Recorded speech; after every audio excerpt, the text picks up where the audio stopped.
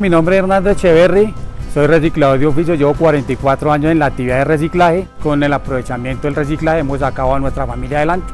Queremos ver una ciudad más limpia, más bella, pero necesitamos la ayuda de todos los ciudadanos. Quiero decirles que la basura no es basura. Podemos aprovechar todo lo máximo para que esto deje de llegar a Doña Juana.